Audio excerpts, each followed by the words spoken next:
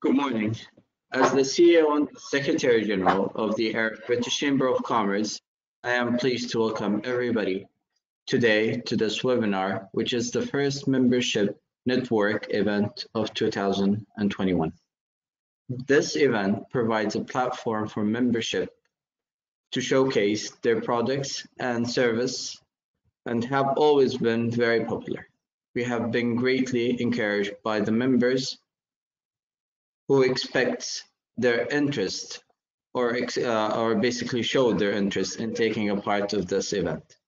As a chamber, we are delighted to be a service such as broad range of companies active in many different sectors.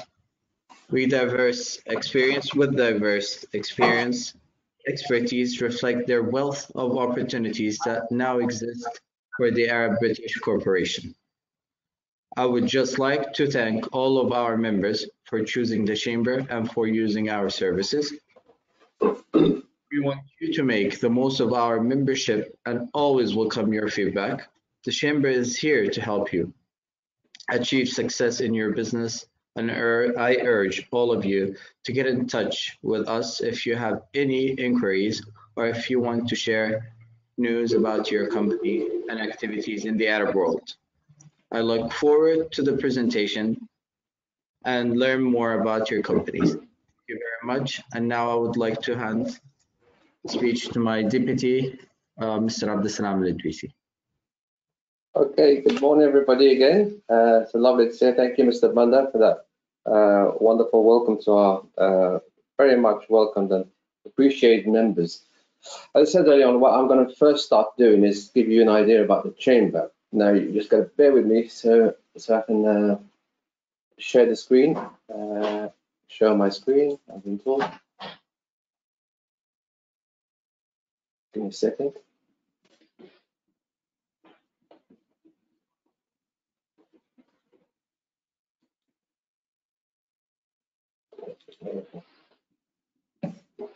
I'll share my screen.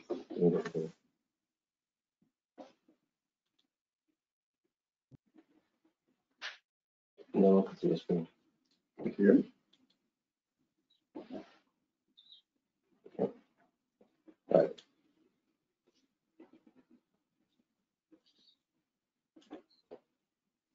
Right.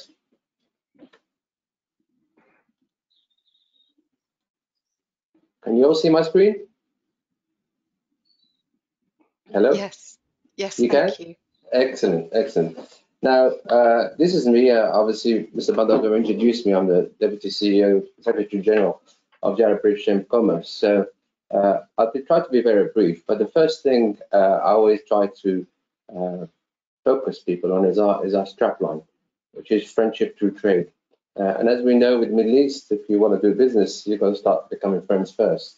Uh, once you build a friendship, then business continues. I know many members that I've seen of the 30 odd years I've been at the chamber, still members of the chamber, and still trading with the same clients they've been dealing with for the, for the last three decades.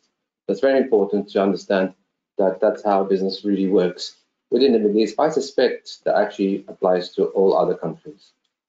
So first thing, the history of the chamber. So for you who don't know, uh, we were set up in 1975.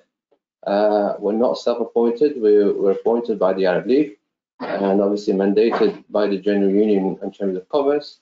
And this was done in 1975 when we became a, a limited liability company. But we're a non-for-profit organization, so all we do is to be facilitator, uh, uh, not a barrier to trade. So we try to help you and help all others uh, gain the best prospects within the region. So underpinning us is also, if you look at our uh, articles of association, the signatories to it are all the Council of Arab Ambassadors. So we had to build that link with the ambassadors, and we are very closely linked to all the ambassadors here in the UK. So we've got very strong uh, link with the, uh, what they call it, the uh, diplomatic corps in the UK. Our circle of friends, obviously, first and foremost, is our members. Uh, and we value our members, and our job is to serve you. Uh, we are here to serve you. Uh, the next uh, one is the Arab League states. We represent 22 Arab League states, uh, so that's quite a large block of business people, and also the Union of Arab Chambers, whose chairmen all sit on our board. So we have a very large board, as you can see. We have representation from every country. Uh, and obviously we have also the British Chambers of Commerce, the association, and also the 34 Asian chambers across the country. So we're not just uh, stuck here in London, we have representations across the whole United Kingdom through our agent chambers. We, so, we also have uh, the Council of Arab Ambassadors, obviously Department of International Trade, and also work very closely with the trade envoys. Uh, but we do span beyond that because we also have a lot of sister organizations, uh, joint foreign chambers. So we're linked to a whole globe uh, representation from Germany to Brazil to China. So we all have a joint foreign Arab chamber, the Arab Irish, the Arab German. So we're hoping in future to try and connect you guys to those markets as well, apart from the Arab world. And obviously we're a very small team. We're about 15 members of staff, uh, but we do punch above our weight. We do deliver a lot of work uh, with minimum number of staff. So how have we fared? How has the UK fared with the Arab countries. So you can see the map here shows you all the Arab countries. About 406 million population, uh, but beauty about many of these countries, they've got a very young population. And this very young population are hungry for technology, they're hungry for new products, and obviously as we move forward, the tech industry is going to be at the top of their agenda. And obviously they're big consumers of products and services. So how did we fare in 2020? So sometimes it's always nice to see how how did we trade with the Arab world uh, in, in, 2020, and we do a comparator to that of uh, uh, 2019. Uh, obviously, uh, it's gone down uh, by 25%. And that's uh, unfortunate, but it's because of COVID. It's because a lot of countries shut down. there was no people working full time, so it's all skeleton crews across the board uh, imports are mainly uh, uh, services to do with medical industry. So we had a very sharp fall of 25%. But we need to rebound now. We need to review, rebuild, and restart. And I think that's our job now, is to review the situation, see how we can uh, overcome the obstacles that have happened. But we, we can't shy away from the fact that the UK economy as a whole has has declined by 9.9%. This is the biggest drop since 1709 uh, as a big frost uh, uh, uh, in that time. So on top of that, you have Brexit, which is affecting also trade. that is, of course, with the European countries, but it does not detract from how businesses are faring and where businesses need to focus themselves. So we always try to show people that we can focus on the Arab world because it's a big market, and I'll show you why now. Because we a comparator of what trade we do with other countries compared to the biggest blocks, which is China and India and Brazil. If you look at those figures, they're quite quite stunning. The Arab world actually did pretty well. China just slightly ahead of uh, of the of uh, the Arab world, but we've exported more to India and Brazil uh, to the Arab world than we than we did to India and Brazil. Uh, and these are populations of, of 1.5 billion, 2 billion. So really, we're punching above our weight. But we need to go back to where we were two years ago. And this is one thing about the Arab, Arab League states. Over the decades that I've been in this job, I've seen it grow year on year. So it's a very positive market. And I think people should start refocusing sharply onto these regions. We're actually trying to work with a lot of governments to do trade agreements to make the business much more easier. Because at the end of the day, nothing has changed doing trade with the Arab world. Everything's the same. So how do we help you? We do obviously our main services, which is the export facilitation. Uh, so we are authorized uh, by the British government uh, to issue certificates of origin and, authentic and authenticate associated documents. So whether it's your letter of credit, whether it's your power of attorney, whether it's your agency agreement, uh, we do we do all those jobs for you. And we have a one-stop shop where you can get the whole services in one go, which I'll show now.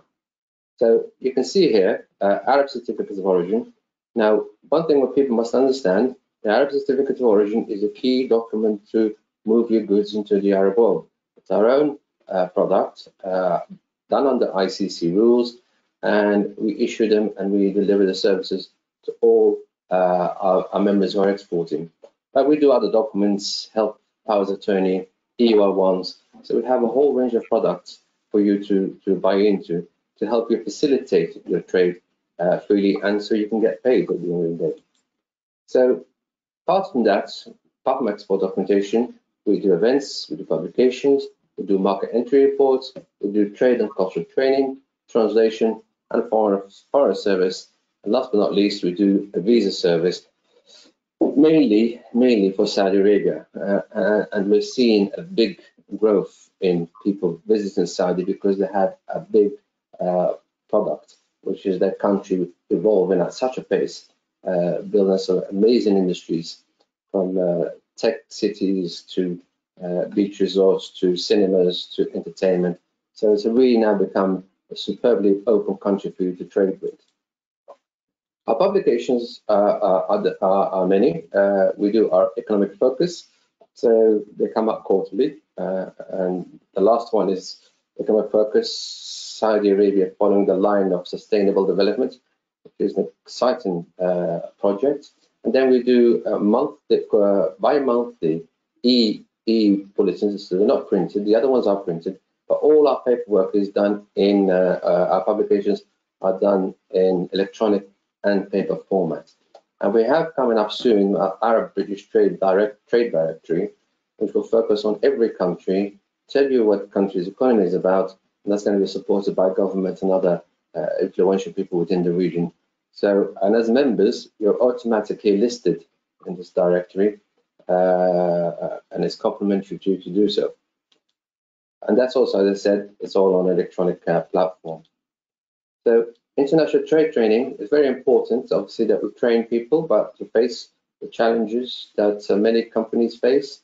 And we have a whole range of uh up-and-coming uh, training courses, custom procedures documentation, Incoterms, preference rules of origin, and import procedures.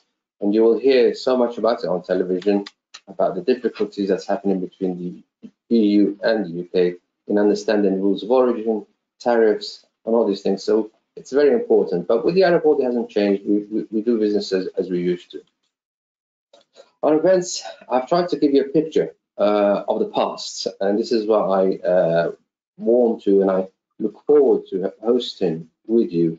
Uh, these are the best events on Qatar, Iraq, ABCC networking, uh, the Arab British Economic Summit.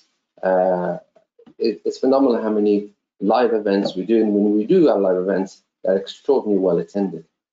And also, uh, we haven't stopped. Okay, we can't hold events, we can't be physically there, but we do a whole range of webinars. You can see there are few that we did uh, in 2020.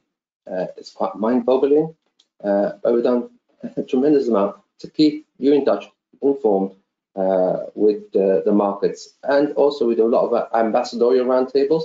So we have the ambassador giving you information about what is available uh, to them. Uh, we also had a ministerial roundtable UKGC Joint Trade Investment Review, and this is purely to look how the UK can build on a trade agreement between the UK and the GCC countries. And we're still working on that uh, into getting the ministers and getting the parties all involved so we can have a trade agreement pretty soon so to facilitate trade for you within those countries. Finally, we don't stop. We continue to have a, a, a list of events. These are a few that we've planned for this year. They're always up to change because of COVID, but all of them are, most of them are actually uh, virtual. We are hoping that one day uh, we can have a, a physical networking and, and do our British Economic Summit uh, uh, uh in, in, virtual or in physical, but we'll wait and see. So that's uh, can be found on our website, so you can track all our events that possibly, and please do sign up to them because your participation is terribly important. Finally, we have a beautiful offices in London. When time becomes available, these are offices which you can rent for your meetings. Uh, you can have meetings here. We have a members lounge you can come sit down, have a coffee, uh, use the internet between meetings in, in London. So, and we're very central here in Mayfair in London. So on that note, our mission is to become the preferred business partners for you and to help you actually uh, succeed in the Arab League states. So that finishes me off. Uh, as far as I'm going to say, please, as Mr. Thunder said, uh, you got my number there, you got my email. Anybody who needs anything, feel free to to contact me. That's me finished. Now let's try and go back. There we are. So I hope all that was uh, good for you guys. You got a bit of an understanding of what we do at the Arab British Chamber of Commerce. Uh, quite a whirlwind the presentation. Can you all hear me? Excellent, Yes, we can. excellent. Okay. Yes. Now, I'm now going to move to our first speaker. But this is what it's for, it's for you guys to present your uh, offerings to other members. Uh, and if you're able to allow us to share your details to the people who are logged in uh, as uh, guests, uh, we, we very much welcome that position. So can I call on Mr. Ali Kuli Khan of Ab- Abacus Cambridge Partners, who are a technology company, from my understanding. The floor is yours, sir. Indeed, thank you, thank you, Mr. Al-Idrisi, and uh, you know, thank you for the brilliant uh, introduction there. Uh, just uh, uh, bear with me, I'm just trying here to load the screen. Uh, you are right, we are a technology company. Uh, and I'm not sure if uh, you can see my screen here. Yeah. Yep, perfect. Uh, and of course, you know, 2020 has been uh, uh, it's it's been a difficult year for everyone, but it has been uh, an eye-opening year in terms of in terms of technology and digital transformation, and that's perhaps what I just wanted to talk a little bit about uh, uh, in in this presentation. Uh, now, just to start uh, Abacus, who we are, we we are uh, a UK-based uh, technology IT consultancy, uh, but we have a large, significant presence in in the Middle East. We've got offices in uh, uh, in Saudi, in Riyadh, in Dubai, in Cairo, as well as you know we we've recently started several projects in in Erbil in Iraq as well. Uh, and uh, of course, you know our, our our key ethos is that we are uh, a key transformation partner and that's that's always been our uh, our value proposition. Uh, and you know, this last year, as uh, as the pandemic hit, you know, it, it really pulled into focus so much of why uh, why this uh, this has really become important when when we talk about digital technologies. I think I have. When we talk about digital technologies and digital platforms, why uh, uh, what, what what is the need for it? And um,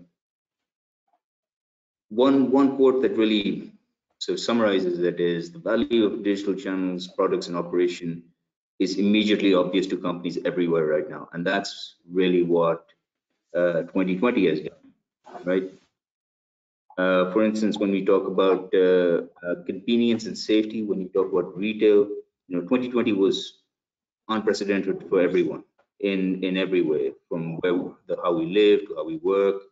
Uh, consumer behaviors are now settling into what people are calling the new normal, uh, and everyone has to learn to live with the reality of what COVID has presented and what's what's coming beyond as well. And you know, so the shift, particularly let's say when it comes to retail, the shift has been so much towards digital, uh, and you know the percentages are just off the charts in terms of you know the year-on-year growth uh, from uh, from 2019 to 2020 in terms of where retail has gone. Retailers have gone online, and those who haven't or have uh, not been able to have really struggled in this period. Uh, and you know there's there's a shift towards omni-channel. There's a shift towards understanding what is the right digital presence to be on. Uh, you know, retailers are uh, showing some some high number of, uh, uh, of orders that are coming in. Those that are online and those that have some presence have shown significant growth. Uh, so convenience and safety, but also collaboration and agility. You know, and this is this is something that has come into focus for us as well. Uh, you know, we have a workforce of around 3,000 people globally, and in a moment's notice, or you know, we had to uh, shift to a working from anywhere arrangement. You know, from previously having and and you know, obviously here in the UK, uh, there's a very established culture of working from home, and you know we are very familiar with that with that model, uh, although not to this extent. But we were still very familiar uh, in other parts of the world, in, in the Middle East. People, there, there is uh, a recognition, but it's probably not as established as it is in the UK, and that really pulled into focus when we had to actually put, you know, across our uh, across our different locations everyone uh, working from remote, remote locations. And that was a huge challenge. Uh, project delivery obviously was slowed down. We couldn't uh, have have our people on site, our people are all working from home. And that, uh, uh, but what it turns out is that it, it becomes about trust. and once once we put our trust there and really gave our people the right technology and the right tools to operate, we found out that they were much much more efficient in in having that trust and having that uh, that uh, that ability and we collaborated at a level that uh, uh, that we hadn't hadn't seen before and you know the project delivery continued and you know we have uh, uh, and this is this has been the case for for all organizations anyone who's who's had to deal with with this shift of of having you know uh, people working from home, they've recognized that this is this is of ways the new normal. In fact, there was a recent survey where uh, about half the respondents who previously uh, were not looking to uh, work from home after this uh, pandemic experience will say they will continue to work from home. So that's that's a large percentage.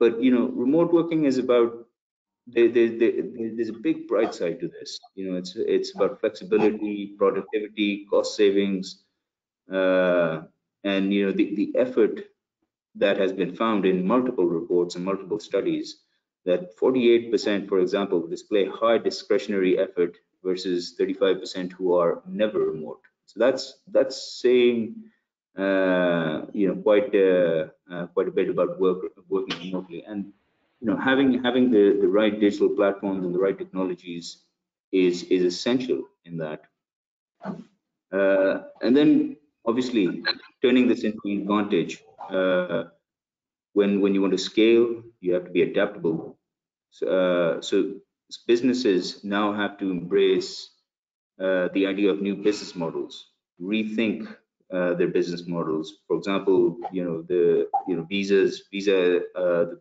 uh, the, credit card company has recently bought out Plaid.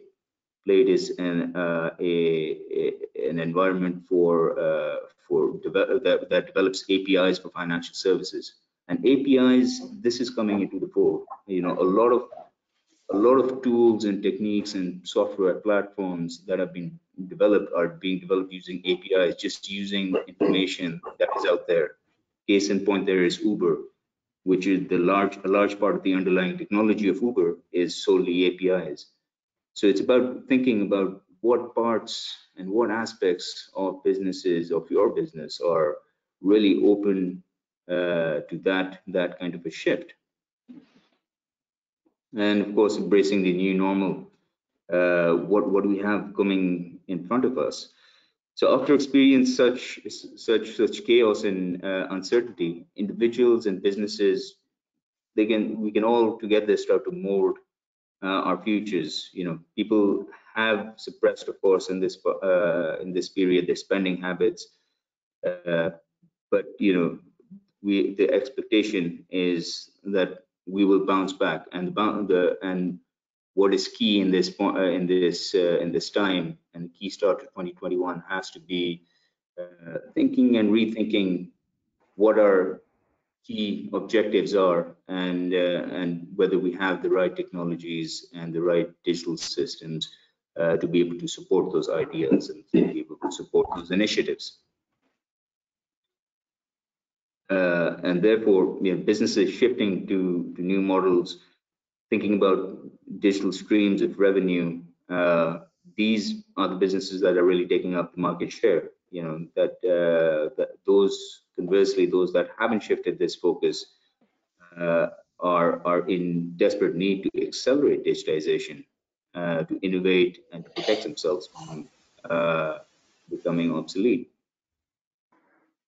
So key agenda for, for a lot of CEOs uh, and a lot of leadership uh, and, and those uh, particularly uh, those leaders that have inspired me and who I've spoken to in, in this challenging time has been fortifying your business with the tools and technologies that give you the edge, right? So leading companies today are building new levels of resiliency. You know, they're re revisiting their supply base uh, and their global asset footprint so they can reduce the delays and, you know, potential problems in the supply chain. Um, secondly, moving quickly to digitize uh, their operations, you know, their end-to-end -end agility, uh, the transparency and the, the, flexibility at which they operate. And finally, you know, they want to transform the business, their business models to achieve cross-functional agility. Uh, so resilience is not just about coping and dealing with the challenges of today, but also fortifying your business with the tools that will give you an edge uh, for what's what's to come in the future. Uh, so a bit about Abacus, our technology stack. So Abacus, uh, we are, as I mentioned, we're a technology consultancy.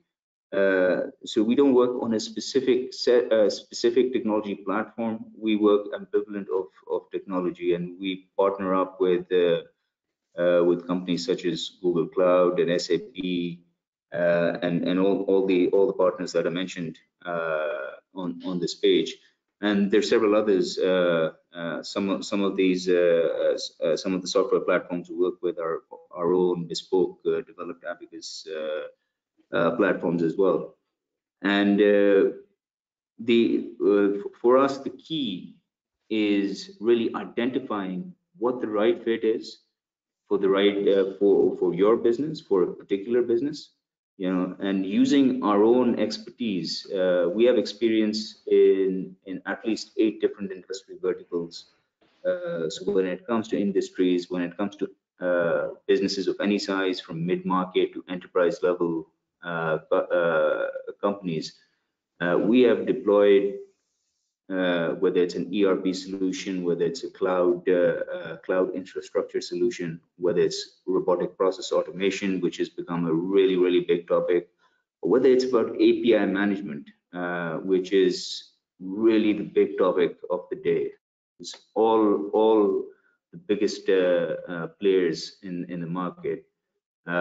particularly, you know, retailers, some of our clients such as Milestone for them, uh, Emirates Airlines, you know, du Telecom, all these uh, uh, players in uh, are really looking to focus on uh, monetizing and you know creating business models through API. So API management has become a key key theme uh, over, over, the over this.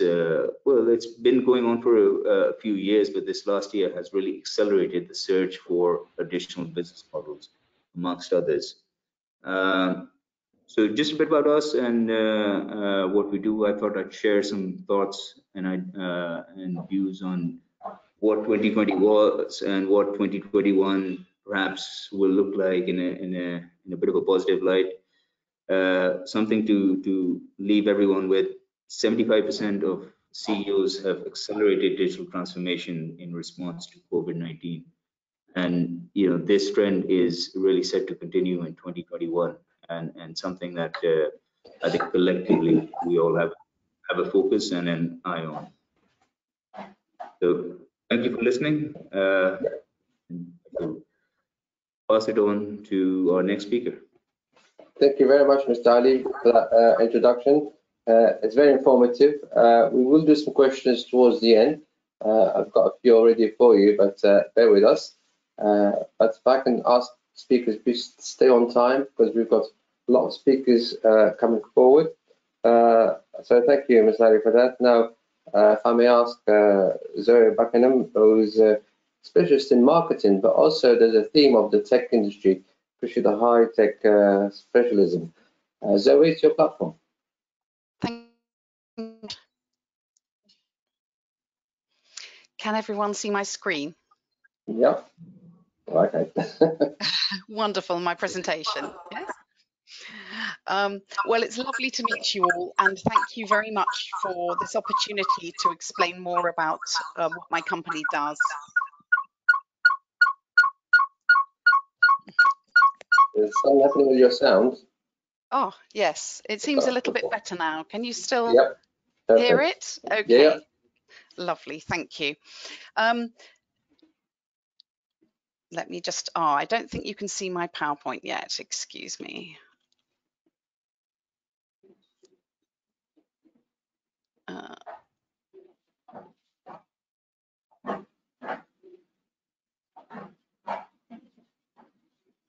Can you see it now?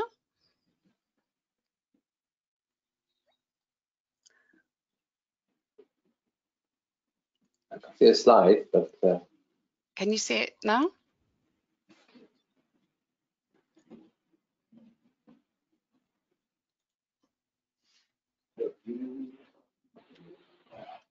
Can you see my presentation? yep. Wonderful. You can see it, yes? Where it says welcome. Okay, thank you very much for your, for, for your patience. Um, well, I'd like to introduce my company, um, which has been around for 15 years. Um, we founded the company based on a real interest in working internationally, and that was based on experience that I had of working in a large media company where uh, I had clients across Europe and the United States. So 15 years ago, um, I started to work with various clients in the business to business world across North America, um, the, uh, Asia, and then finally the Middle East. And it's been an extraordinary experience. And I hope that I'm able to bring a lot of experience and expertise to all the projects that um, that we work on. And what we try to do is to give business to business brands the same attention that business to consumer brands have had historically. So, for example, the big FMCG brands uh, that sell soup or chocolate bars have amazing logos and packaging and advertisements. And it's a shame if business businesses that sell to other businesses don't have that same representation. So that's that's what we specialize in. Um, we work in a way that where we communicate very clearly. And we are we use Arabic, we use other languages that we need to use. Um, we've built websites which will flip from one side to the other so that you can read in English or Arabic just as comfortably. We believe in really getting to understand what companies, businesses do in detail, and, and we work with a lot of very high tech companies. So, for example, within the last three months, we've worked with AI companies, artificial intelligence companies, with um, advertising technology services. And we've also, within the last last few years, worked with government departments in the Middle East, helping them communicate with the professional community so that the professional community understands what they do and can work alongside them. So these messages aren't always immediately very easy to communicate. And that's where we come in. That's where we find ways to make things colourful, clear, um, engaging, but we don't dumb down the messages or the complexity of the products that we work with. And that's sort of that's where I think our, our niche is. Um, so we've held live events. Obviously, we're not doing very many of those at the moment, um, but we are doing a lot of digital work. We found, going back to um, Mr. Ali Khan's point about digitization, we found that clients are very interested at the moment in in, in improving their digital experience. So they may have a website, but maybe they think this could be better. Um, maybe they're looking at other ways to communicate using digital technology. So that's really that's really what we do. Um, we've been doing it a long time. We we get a lot of pleasure out of helping clients businesses succeed. Um, so thank you for that introduction. I know that we don't have a lot of time, so I didn't want to take up too much time, but I hope that that's been a good insight into what we do. Thank you. Well, thank you, Zoe. That's very concise. Uh, in your words, a clear message. I think it uh, actually delivers its uh, succinctly, but I'm also very uh, uh, proud that you put Arabic into your slides, which I think is very important when you're dealing with the Arab world and you're with literature, that you do try and make an effort to uh, have an element of the Arab language translating what your products are about. So Zoe, thank you so much for that. Uh, and you've been very succinct. Now, I would like to invite our next speaker, uh, Ms. Aida Habush from Trowers & Hamlin. I think Trowers & Hamlin doesn't need an introduction. A massive law firm, uh, very well established in, in the across the Arab world. I've had pleasure in working with you guys in the past, and you've been with us as members for quite some time. So, welcome. Thank you. Thank you, Mr. Abdulsalam, um, and thank you for that kind introduction. Um, I'm just going to try and share my screen. Um, can everybody see Yeah. the slides? Yeah.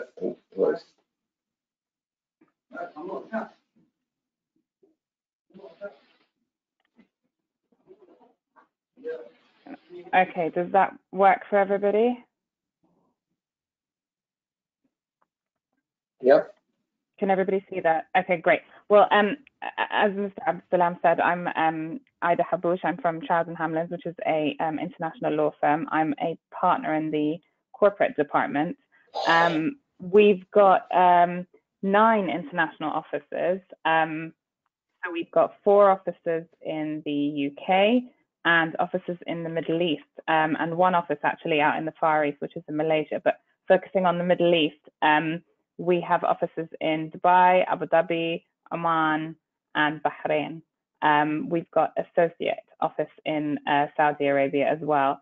Um, we are also part of a global network, I think, which is quite um, unusual for, for an international law firm. The global network is called Interlaw, um, which basically gives us friends in 140 cities around the world. So we have uh, friendly law firms that we um, work with um, on a very regular basis in places where we don't actually physically have an office, um, which is quite good because that means that we can provide our clients with global reach and advice wherever they may need, um, wherever their business takes them, essentially.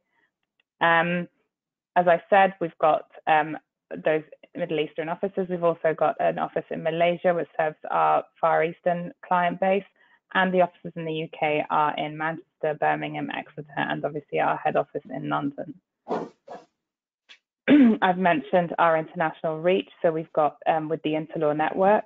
Um, and I think maybe a slide on why we're we're slightly different to other law firms. I mean, I, am sure everybody has heard um, from law firms before, and they've heard that everybody seems to do pretty much um, the same thing and cover the same sectors. However, I think Trowers is slightly different in that we focus a lot on the Middle East. We work with um, a lot of clients who are based in the Middle East or Middle Eastern clients who are based in the UK and want to take their business back into the Middle East. We have quite a number of, of Middle Eastern origin lawyers um, who are qualified in the UK as English lawyers, but also speak the language and know the culture, and, and I'm one of them. Um, so we, we provide a slightly different um, uh, thinking process. We know the cultures that we're dealing with, and we can understand how businesses want to um, achieve their goals out in the, the regions where we pretty much understand the culture. I think, as Mr. Abdulsalam said earlier, um, with the Middle East, you first become friends and then you do business. And I think that because we understand that and the culture behind that, we we can um, help our clients to succeed really in those um, in those areas. Um, we cover a wide range of uh, sectors.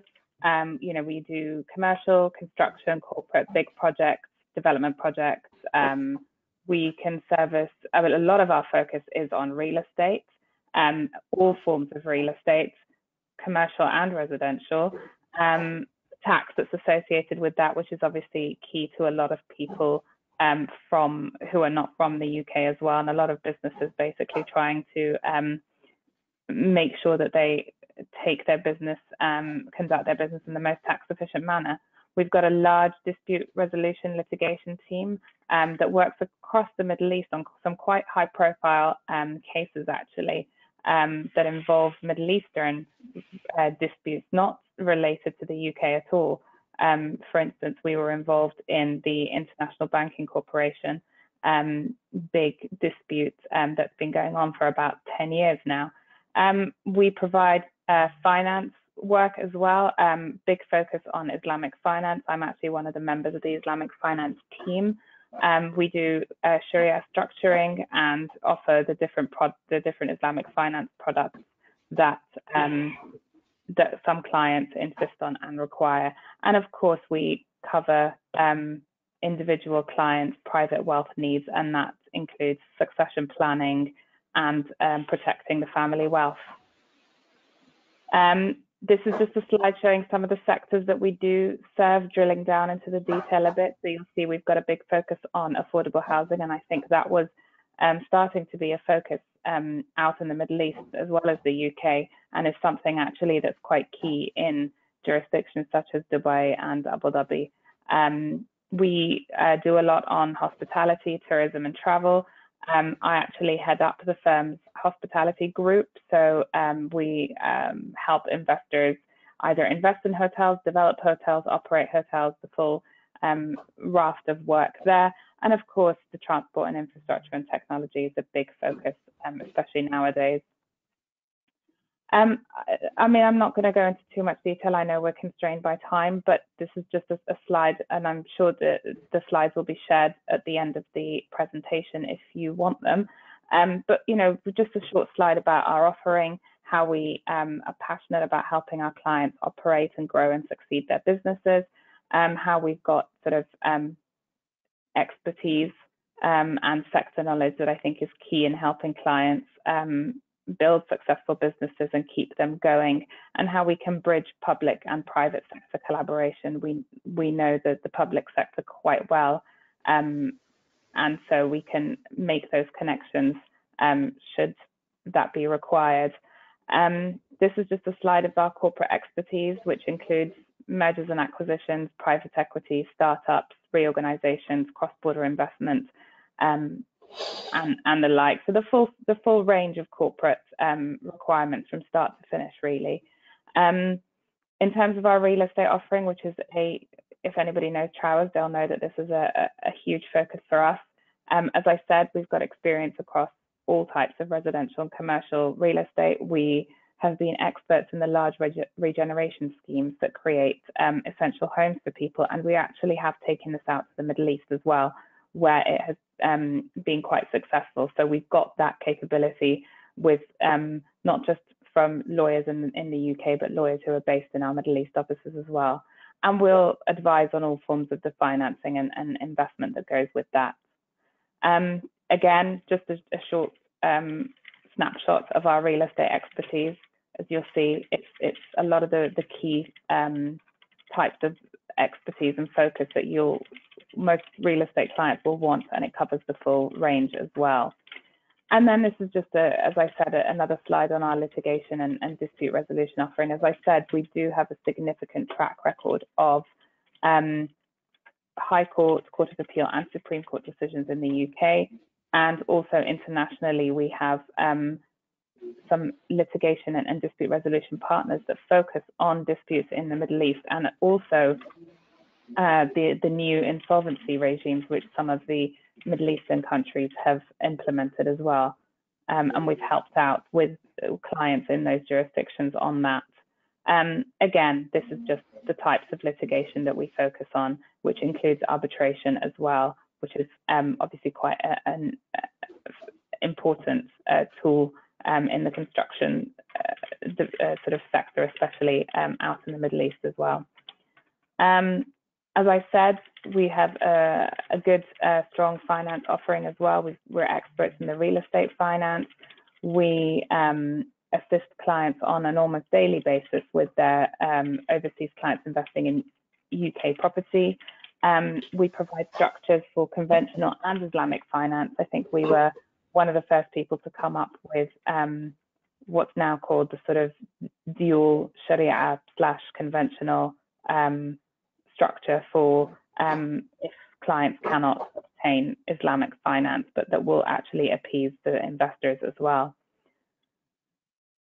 and this is again a few bullet points on the types of, of expertise that we have in our finance team. And um, that's it, just a short, sharp um, explanation of Trowers and our background and what we focus on. Um, my contact details are on this slide. Should anyone um, want to get in touch, please feel free. I can put you in touch with um, experts that you may need if I'm not the right person. And um, if anyone's got any questions, please do ask them at the end. Thank you very much. Thank you so much, Ada. That was a wonderful presentation. Uh, it's extraordinary the suite of services that you offer uh, and across the different disciplines. I think many of our members will be welcoming to uh, look into your services. But thank you so much for that. And Thank may I now move to our next uh, speaker, Andrew Elia, uh, who's a leading agency of technology experts, and they specialize in the next level technology, which is the big, biggest acronyms these days: virtual reality, augmented reality, and artificial intelligence. Uh, it- it's mind-boggling what the new world is looking like. So please, the floor is yours.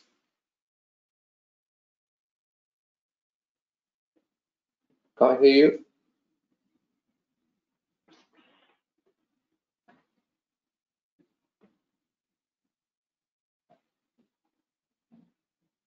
Nope. No sound.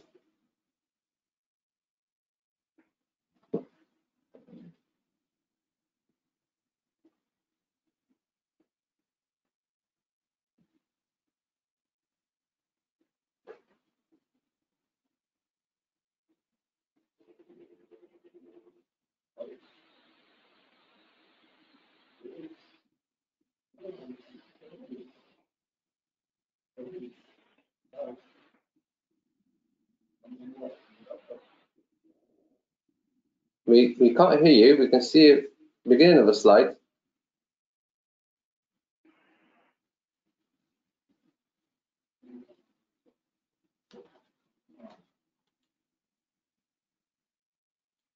I think, um, Abdul Salam, I think he's asking to be uh, unmuted. I don't think we need to. That's better. Can you hear me now? Perfect. Thank you very much indeed. Okay, um, so uh, my name is Andrew Elia. I'm the co-founder and managing director of Arishi, and you can see my screen. Yep. Excellent. Right. Well, let's begin, and um, hopefully um, we'll be uh, fortunate with um, the video as well. So.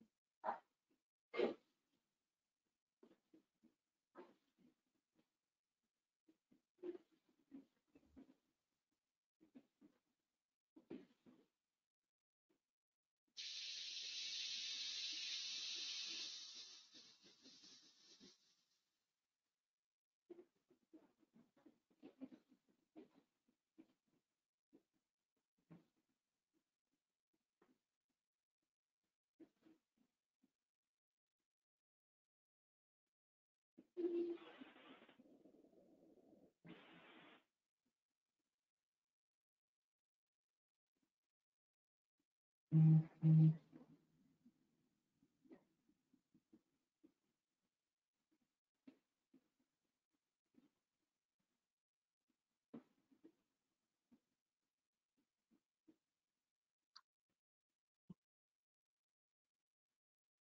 we are. Okay. Excellent. So um, we are high-end technology specialists. We've been doing this for over 20 years, and we've worked with global businesses, fintech companies, foreign governments, and, and lots more people besides. Uh, we're very proud of the fact that we've got client relationships that, that go back over 18 years. People who've been with us more or less since the beginning are still our clients now, and, and I think that uh, says a lot about the way we work with our clients and, uh, and the respect we, we have for one another. Uh, we have clients all over the world, actually, so not just across Europe, but we've worked in the USA, in Africa, and Australia, uh, Australia, Australasia.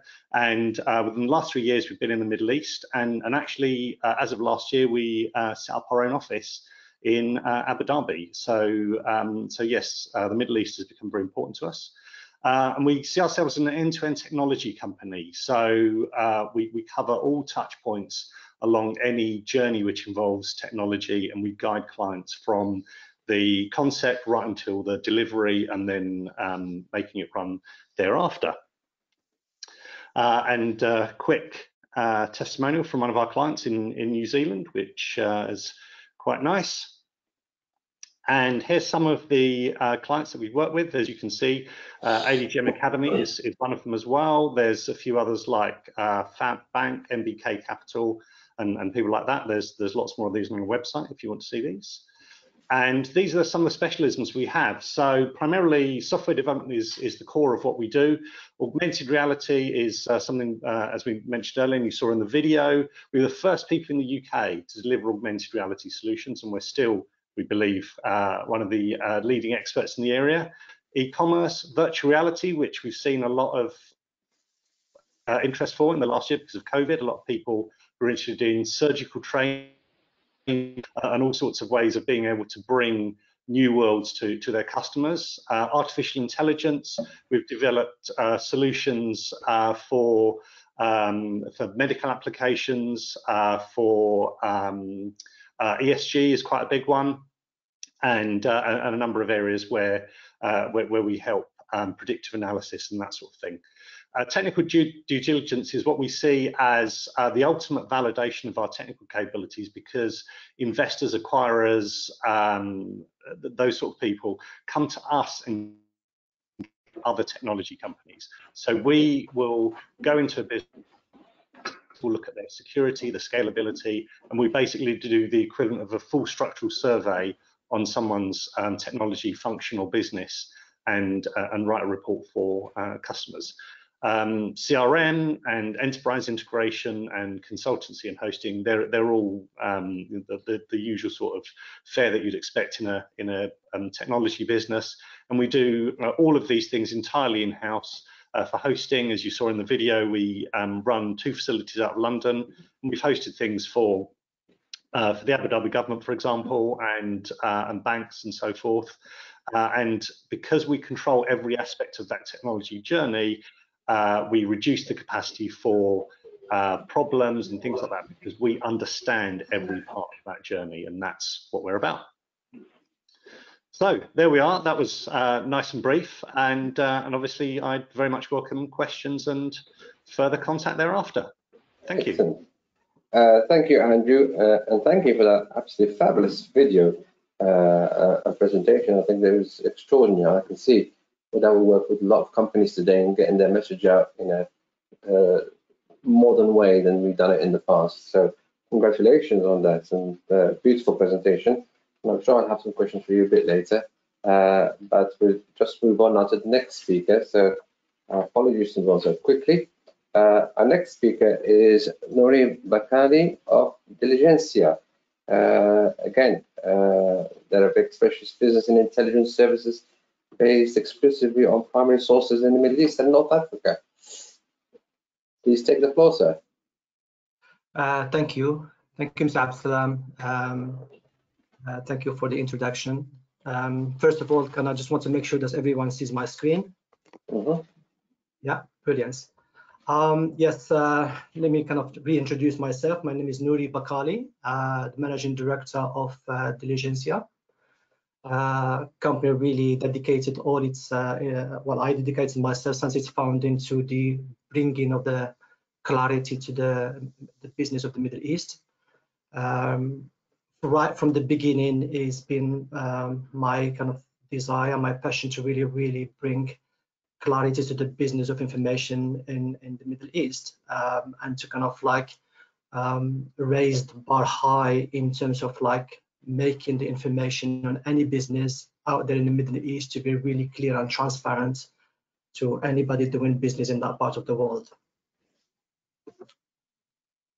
The, the company Diligencia was founded in 2008. Um, it started in Oxford. Um, and really, actually, to be honest with you, the, the, the, the, the origin of it all is actually the, the driver of all this was um, Companies House here in the UK.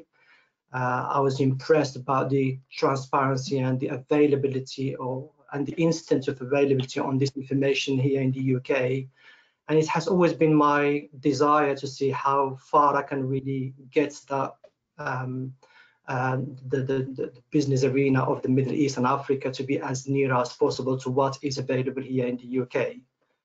Um, so we kind of set up an office in Oxford and we kind of went to uh, look around uh, the Middle East and Africa uh, and study really where is public domain information exists.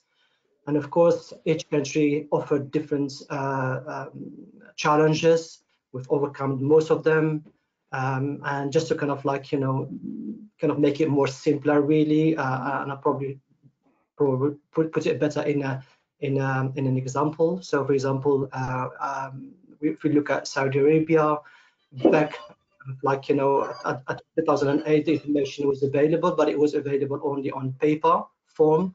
Uh, like the official gazette of Umm for example, publish all the artificial, uh, the, the memorandum of article and associations and all the amendments.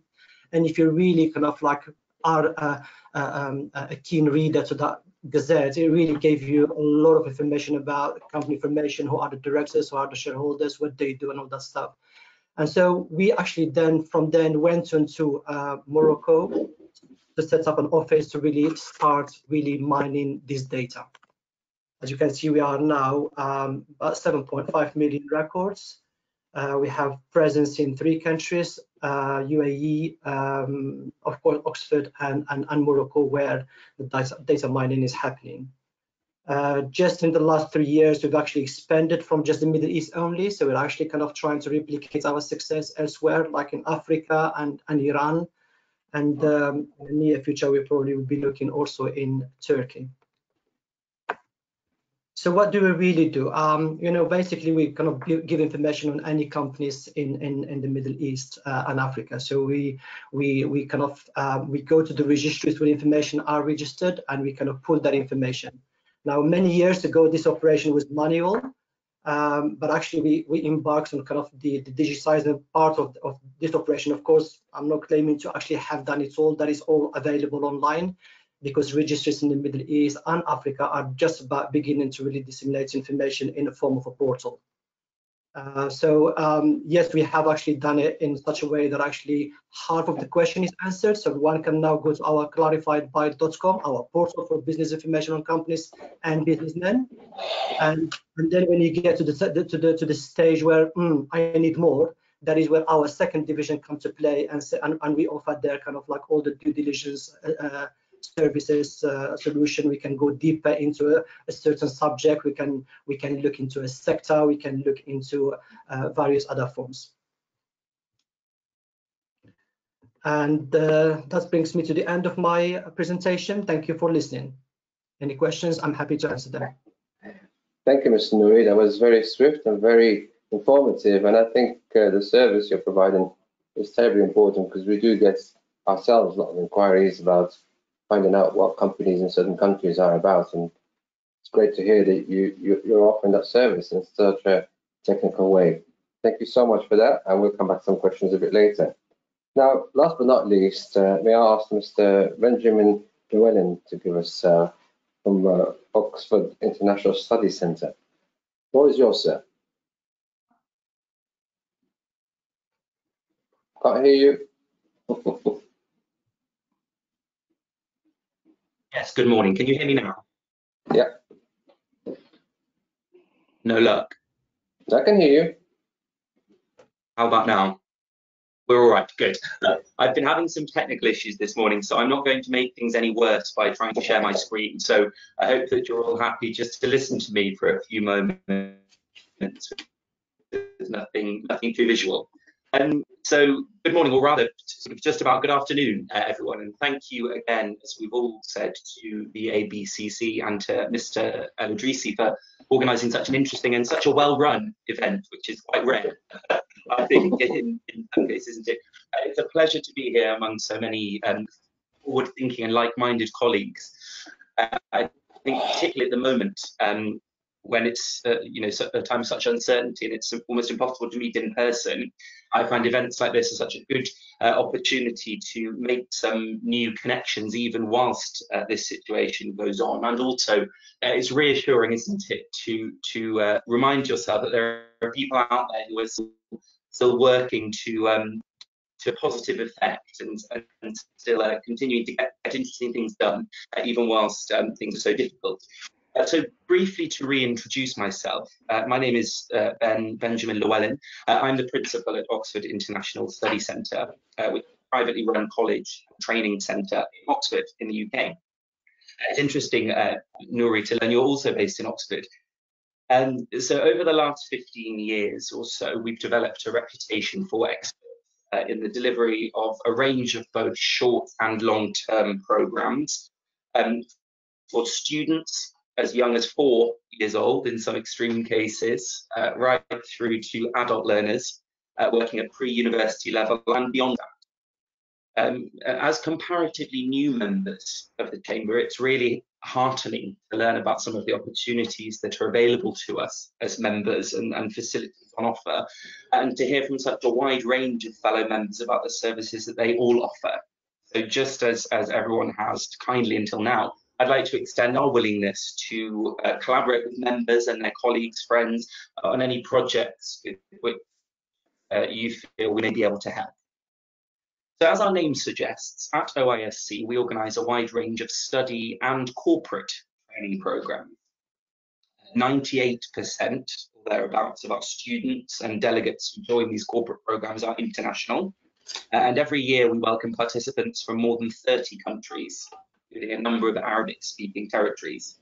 Of course, should you have any clients or colleagues requiring support uh, in English as a foreign language, including business English, presentation and communication skills, or another specialist English, we're more than happy to help. That's really our bread and butter as an organisation. But what I feel might be of more relevance to fellow members today is the range of corporate training that we offer. Previous clients on these courses included BT, uh, Egyptian General Petroleum, the Beijing Olympics Committee, and the China Development Bank, among many, many others. And the topics that we offer are diverse. The most common themes include things like international communications, uh, HR management, leadership and management skills, entrepreneurial skills, uh, but more specialized topics for clients have included things like banking, financial management and marketing, uh, health and social care and the history of the NHS, uh, the British education system, and, and even fashion merchandising. At the moment, we're in the middle of delivering a series of online seminars focusing on HR and recruitment, which we've organised on behalf of the British Chamber of Commerce in Myanmar. Uh, and, and, given the extremely broad range of industries and organisations that join these programmes, clearly it's essential that each tailored precisely suit requirements of each group of delegates. Uh, we work primarily as, I suppose, a, a sort of a knowledge hub, uh, working to form, facilitate, and assist strategic partnerships between a range of international organisations, both academic and corporate. And as a result of that, we're able to draw on a wide range of expertise, inclusive of top-level academics, industry experts, and also governmental organisations around the world. Uh, as I'm sure we've all learned, uh, particularly in recent months, gone are the days of a, a one-size-fits-all approach to training involving six hours of monotonous lectures slogging away on the same subject, uh, where for many of the delegates there's very little relevance. All of our training programs are specifically tailored to each client, they are interactive, uh, and they're designed to ensure the maximum benefit to delegates without time waste. And this training can range in duration uh, from a half day, one or two hours of, of lectures, to one or two weeks, uh, depending on the depth of, the subject detail required to client. Uh, now, perhaps less relevantly at the moment, but all our courses are, of course, available in person here in Oxford or online to suit the needs of each client. All participants receive a certificate of attainment upon completion of their course, which of course be used for effective monitoring of CPD, something which I think is so important now when we're not necessarily working in such traditional office environments, and it's it's really handy to ensure that uh, we're working together towards common goals, in, in terms of training. So if you feel that your organisation uh, or colleagues could benefit from, from this type of training, or indeed something completely different, please do be in touch. I'm sure that contact details will be circulated after the event. Uh, I'm very happy to share my details and delighted to speak with you uh, via email or indeed to arrange a time for a call or, or a Zoom meeting to discuss your needs in detail. Uh, so in the meantime, that's that's a brief introduction for me and thank you again all of you for your time and your presentations it's really really interesting and across such a wide range of industries and again thank you to the abcc for organizing something so effective um, I look forward to forming some interesting partnerships and to working with you as we continue in our membership. Thanks so much. Thank you, Benjamin, for that uh, succinct presentation. Uh, and it's wonderful to hear of the work that you do. It's very training is a very important element for the Arab world, and I think there's a scope in there. But also, before I go to questions, what I have seen through this all our presentations is the ability for you guys to actually uh, talk to each other, because I think all of you can benefit from what the other person is doing. I think there's a there's already a synergy uh, in place. So well done, everybody. Thank you so much uh, for amazing presentations and we've learned so much. I think our guests who are watching us are, are, are learning just as much. Uh, I'm going to go through one by one by one in the order of, of speech for, for some questions. So my first question, I'm going to ask three questions to each uh, uh, attendee. Uh, Mr. Ali Khan, you, you have an amazing business to do with technology, various platforms, uh, and uh, trying to help people succeed. If you had a product that you could offer the Arab world that is successful for their markets, which one would it be? The other question I have is obviously, uh, I need to know how did you find out about the Arab British Chamber of Commerce? Uh, so it's always very interesting to see where our members are coming from, uh, and that's equally important. And finally, my other question is, how do you think the ABCC can help you? Yeah, absolutely, and thank you for that. And, and I resonate uh, the, the feelings here that uh, uh, the, the, sentiment that this is a very well organized uh, webinar. I've uh, done several of them and haven't all been as smooth as this. So, so thank you, and uh, very well done to you. in terms of you know what product, I mean, I, I you know, for, for us, for Abacus, and for myself personally, it's it's more about you know the business journey uh, the, the business strategy and where the businesses are going. So rather than talk about a product, I think one one area, and I briefly alluded to this in, in the presentation as well, one area of really high growth has been looking at your API management strategy and looking at, at what data exists in, uh, uh, in, in, in your company and, you know, what aspect, you know, obviously data comes with a lot of red flags around, you know, data privacy and you know the security of data. So that's that's imperative, and that's the, the first uh, uh, concern for anyone. But you know, a lot of that data is uh, you know of the other category, which is it's useful. It's uh, you know. Uh, as as Mr. Nouri Bakali mentioned, you know, it's it's part of intelligence or it, uh, you know that that that key information that you need. Question is, how do you monetize it, right? And uh, that's that's the direction a lot of innovative business models have taken. It's to maximize the use of APIs and let innovators and developers and other companies come and innovate around the system. So I would I would say you know encourage uh, I would encourage companies to look at you know newer business models either internally or through partnering with uh, with others, leveraging uh, the information and the, the data that they have, uh, and you know what what they can collaboration is key, right? Not, nothing can be done in silos. Uh, and I have I have a couple of clients who have uh, worked for 10 years developing their own in-house development teams of 30, 40 people. But until they partnered up with the technology provider, they weren't able to actually get the most out of what they were looking to do because they needed an external uh, view of, of the situation as well uh, and, and really the market dynamics. So, so you know that would be number one. There, there are other areas. Obviously, business priorities are different for for everyone. Uh, but uh, you know that's that's the one trend that I've seen most of. Uh, in terms of you know how how I learned about ABCC. Uh, uh, well, it's you know we we've been uh, you know we relocated our corporate headquarters to the UK in 2017, uh, and we have already got a you know very uh, well-run and you know, business in in the Middle East across different countries, and we've served practically every country in the Arab world, uh, one way or the other. Uh, there's there's a project in there somewhere uh, in, in, in every country. So you know it was a natural fit when when I saw the forum that this is this is uh, you know we're uh, we're uh, we've, we've got very good operations in UK and you know we're a company headquartered in the UK with a very strong presence in the in the Middle East. so you know it, it just for me it's a natural fit for us. Um, and what I'm looking to get out of, uh, uh, or what we're looking uh, to to leverage from from this forum is is you know seeking partners, seeking partnerships, collaborating, and of course you know opening up conversations that that enable us to to talk about more more business strategy. You know, helping other companies to get get to that uh, uh, that next dimension.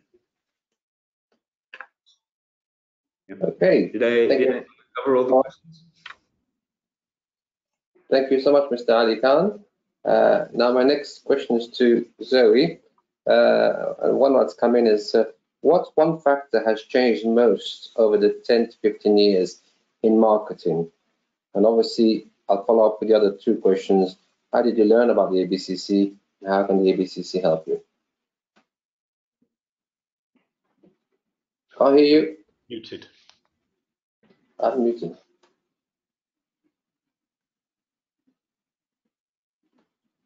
Can you hear me? Are you there, Zoe? Can you speak?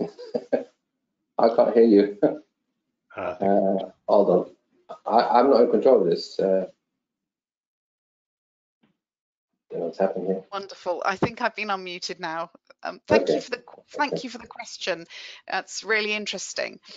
I I think that the biggest change in the last 15 years has been the incredible acceleration in the transition to digital, which some of our other speakers have talked about.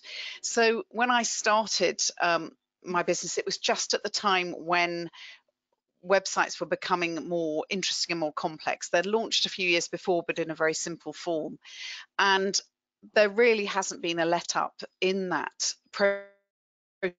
I see a lot of my role as being about staying on top of developments in technology, uh, the constant changes in opportunities for clients on the internet, in on social platforms which are constantly evolving um, and different ways that they can present their services both at live events and in people's offices. So i guess that's been the biggest change. And i think the challenge is to try to find creative ways to make that technology feel very human and accessible so make it look good, but also make sure that you don't lose track of why you're using it and make sure that it really explains what a, what a company does. So, so that's what I've been kind of dealing with for the last 15 years. It's, it's a bit like the industrial revolution of the 90s, but at this time, the digital revolution. And um, in terms of how I heard about the ABCC, um, I'm actually trying to remember. I've been aware of the ABCC for quite a long time. I think I heard about the ABCC initially through my city livery company, and then you're very well covered on a very good platform for finding out more about useful organisations. So I think that's that's where I heard about you. And the last question, how can we help you? how can the chamber how can the abcc help me well um, as benjamin said i would love to work with more more members of the abcc on collaborative projects and i think there are many opportunities amongst ourselves to come up with some fantastic ideas that we can take forward both in the middle east but also in the united kingdom for yeah. middle eastern companies who really want to represent their strengths over here excellent thank you zoe for that uh, very succinct. Uh, next question uh, is to Ada. Uh, it's a challenging one. Uh, key legal challenges for businesses coming out for the pandemic. And obviously the other two questions. How did you learn about the ABCC and uh, how can we help you? wow, that first question requires a seminar in itself. Um, how can I summarize? I think um, certainty is key um, obviously, you know, businesses are transacting with other businesses who, um, uh, you know, who may not have survived the pandemic, um, who may not, who may struggle through the pandemic.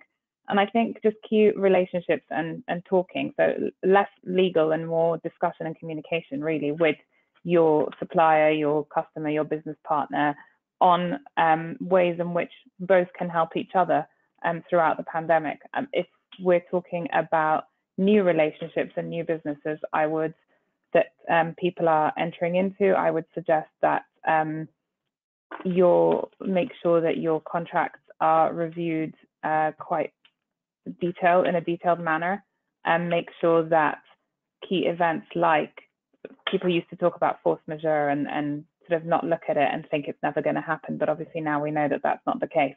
And so people need to place more focus on that and people need to provide for um, certain situations where we've got pandemic, therefore supply can't be made available or the work cannot take place.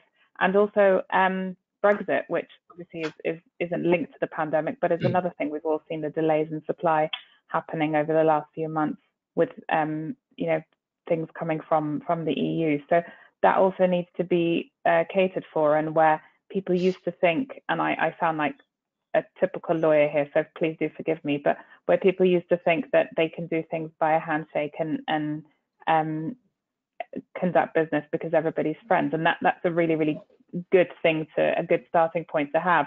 Making sure that you're protected and your legal documentation is actually more important now than it ever used to be.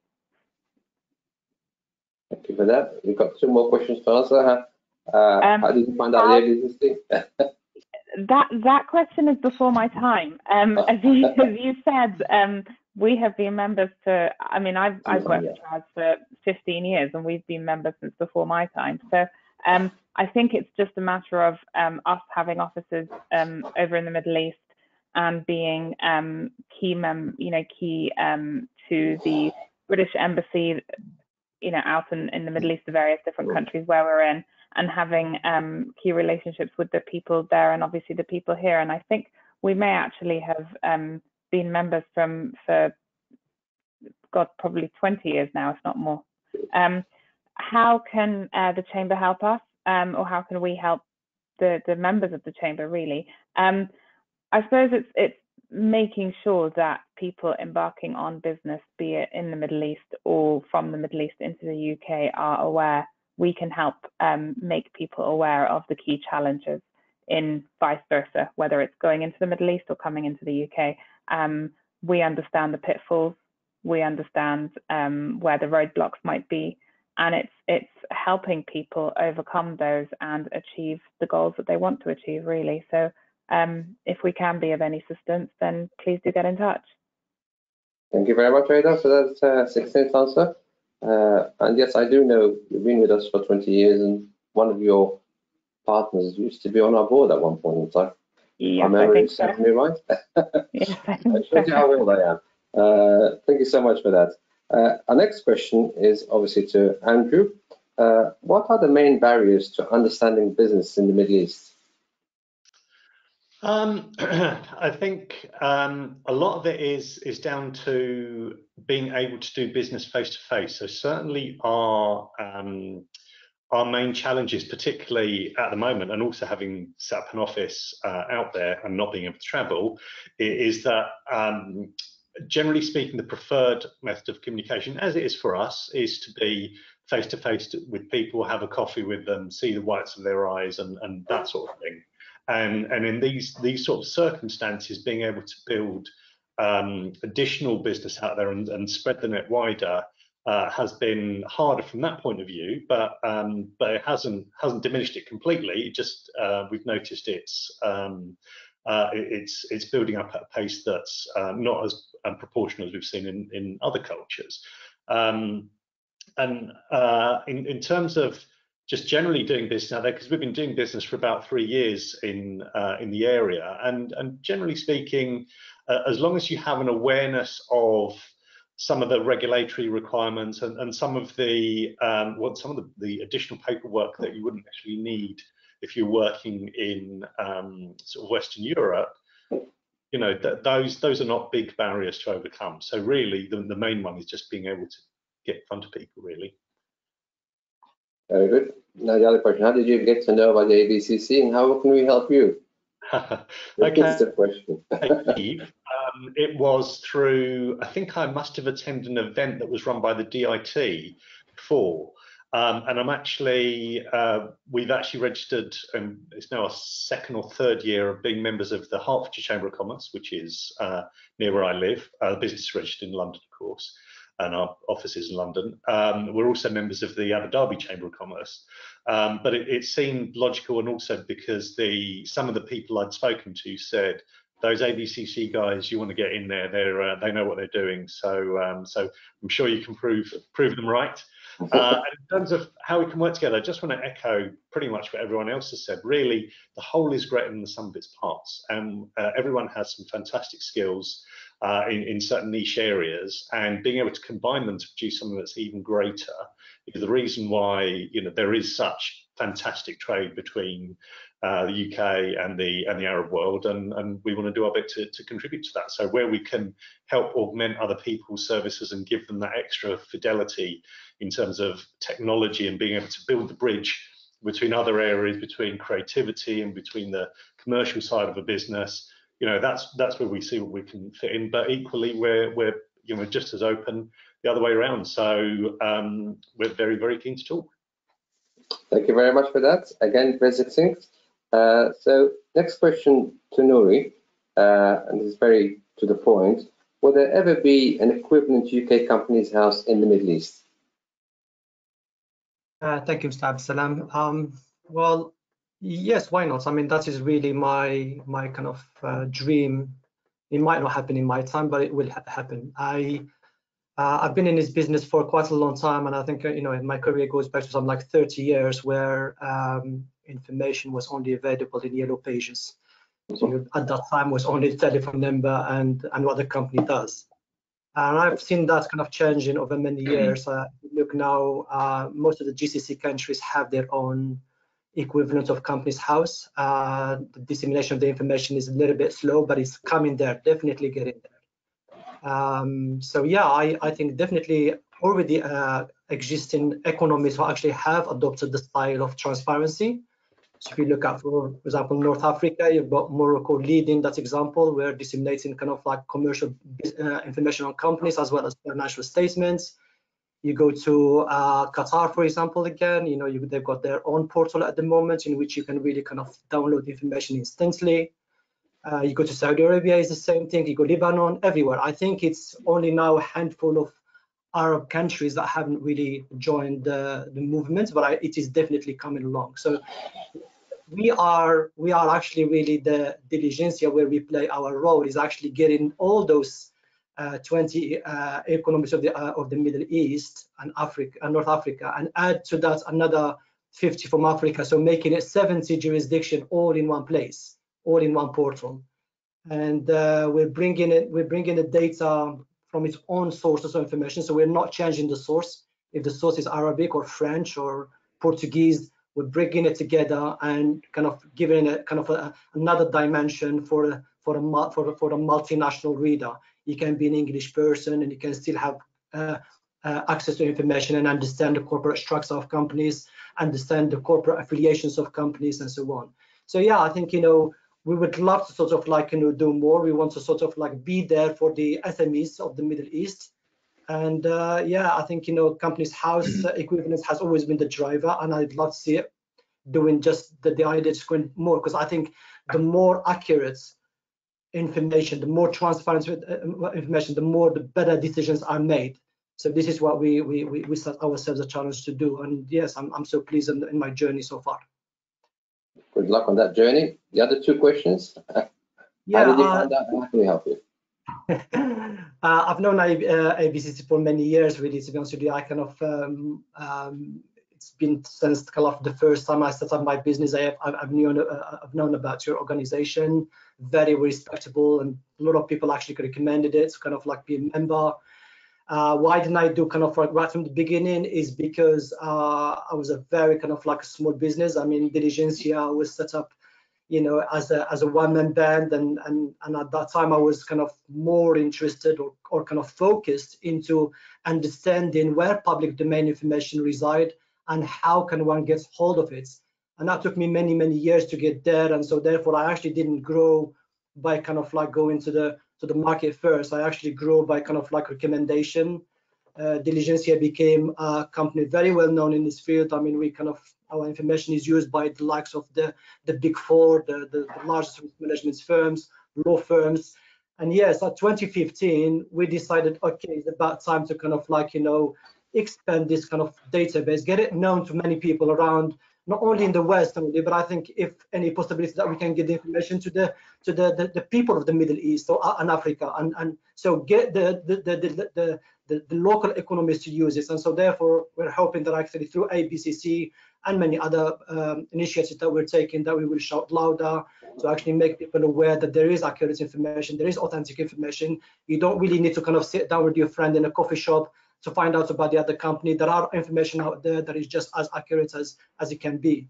And so therefore that's the, how do I really see ABCC? Actually, really, I'm, you know, I'm, uh, with Diligencia is here to, to help um, my colleagues here and, and all your members you know, if they really need information, uh, be it they want to know about a customer, about a supplier, about a partner, about a sector, the can really help quite a lot in that. And, and, and vice versa, really, uh, we're, we're hoping to actually kind of like, you know, reach out through ABCC to the kind of the wider audience, which is my really desire, to be honest with you, out of all this, is to to get my, my the people from my countries, from my background, to understand that actually you can make decision on, on, on information. And that is the way the West has done it for many, many years. We should really adopt this, the, the, the, the same discipline mm -hmm. and, and, and make decision on information. And we are here to help. Thank you very much uh, for that very succinct and a much needed service. Last but not least, Ben, would you, uh, I know you're doing a lot of, lots of lots of courses, and this one comes out of uh, the pool of questions that we've got. Would you offer courses on issues like culture, humanities, history, arts, if clients are interested? Mm, absolutely. I mean, as I sort of touched on um, in my presentation, uh, I sort of decided to focus on the corporate training side of things because it felt most relevant to uh, the widest possible pool of members. Um, but really, those sorts of courses in academic subjects is something that we offer a lot of. Interesting, I think you mentioned subject that aren't English language. One of the most important developments in our sector that I've seen over the last even five years is that students, particularly adults, aren't interested in just English. Historically, it would be uh, our, our butter. English in the mornings and some some culture in the afternoons, and that, and it was as easy as that. And now people are looking for English plus or, or functional skills, things like communication, presentation skills, and, and I think that's certainly more interesting to all. And um, those sorts of combined courses, English with some humanities, English plus history, this do a lot of, and we'd be really happy to help with that. And indeed, we have for, for many years. And, and we encourage the adults to join us in Oxford, try and take as many different subjects as they can over the course of a week program um, to try and you know really get a taste of what British education looks like because we're quite unique um, in the way that our system funnels funnels uh, young people through you know 10 subjects at GCSE level three or four at A level and then to one at university. Uh, most countries in their education systems have uh, much less specialization at such an early age. So I think it's really important for you to explore their interests. And the other two questions, how did you find out about us and how can we help of you? course. Well, well, we've been quite active members of the China Britain Business Council uh, and the Nigerian British Chamber of Commerce and a few others for quite some time, uh, and it felt like a natural next step um, join the ABCC, and it was recommended to us, I believe, by the DIT. Um, and as I said in my presentation, we're looking forward very much to developing some contacts. In terms of how how the ABCC can help us, I mean, this sort of matchmaking um, sort of networking opportunities is invaluable, certainly. But I think what we found particularly beneficial with some of the other chambers we work with uh, is sort of pointing us in the right direction for, for opportunities that might be of interest to us, matchmaking with us and potential clients in those territories. Um, but to, to bring things back to the pool of members and, and the helpful panelists that we've got here today, uh, we're looking not just for clients to join our training courses, but also I mentioned that we draw on a wide range of expertise from different industries. I hope very much that you know if we have requests for things like marketing communications or or um, AI or augmented reality in the future, then we could draw upon the wealth of, of experience uh, represented here. And so so both to um, members to take our course, help with them. Brilliant. Well, thank you very much, uh, Ben. Uh, very succinct, and thank you for tackling those humanity courses, etc. Uh, which was uh, quite right. You were there for the business training, which is equally important. I think we should move on that. Uh, that is the end of my questions. I'd like firstly to thank you all for participating in this event and for giving us your contributions. Uh, I'm going to say goodbye from my behalf. May I'll have to hand you to my chief executive, Mr. Bandar, to conclude. Well, again, thank you, uh, Abdulsalam, and I would like to thank uh, everybody participated today. Uh, I want you to rest assured that we're going to take every single point you mentioned today uh, in consideration, and we're we're going to work extremely hard to achieve your uh, expectation. Uh, so please expect uh, phone calls or uh, you know hopefully a visit if things are open from us, uh, and uh, hopefully we could see you very soon. Thank you.